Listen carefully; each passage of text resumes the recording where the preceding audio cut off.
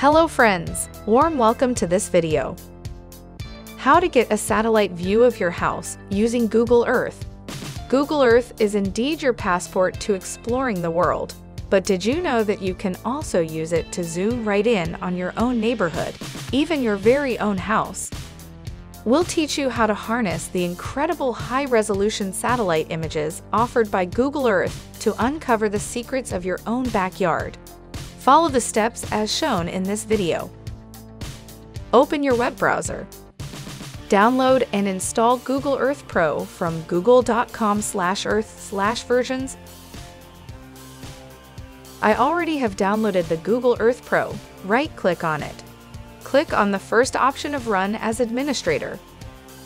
Click on the Yes button to allow the permission. This will start installing Google Earth Pro.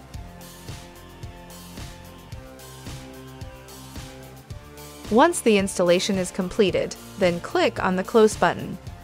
Double-click on the Google Earth Pro icon on your desktop to open it.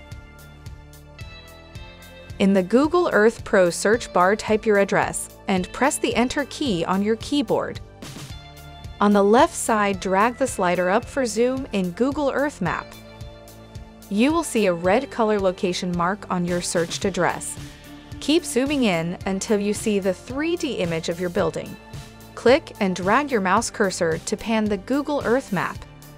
To get more details, you can zoom in further on Google Earth Pro.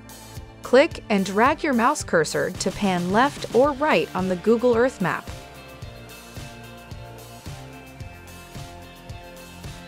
Please do not forget to like this video.